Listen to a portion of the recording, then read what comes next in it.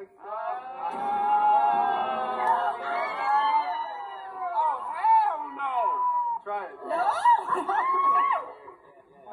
Bro, I absolutely refuse to eat. It's just not something that's fit for a queen. So I am completely avoiding it. There will be no volunteering coming from moi. That is disgusting. Hey, there's a card. Wait, wait, wait. All right, all right, all right. All right. As head of household is my responsibility to choose the first four have-nots of the season. Have-nots can only eat slop, take cold showers, and must sleep in the most low-tech have-not bedroom in Big Brother history. Oh. Does anyone volunteer? I'll volunteer. All right, Kaitlyn,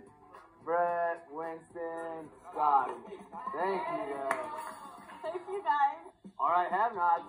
Go check out your have-not room. Where is it going?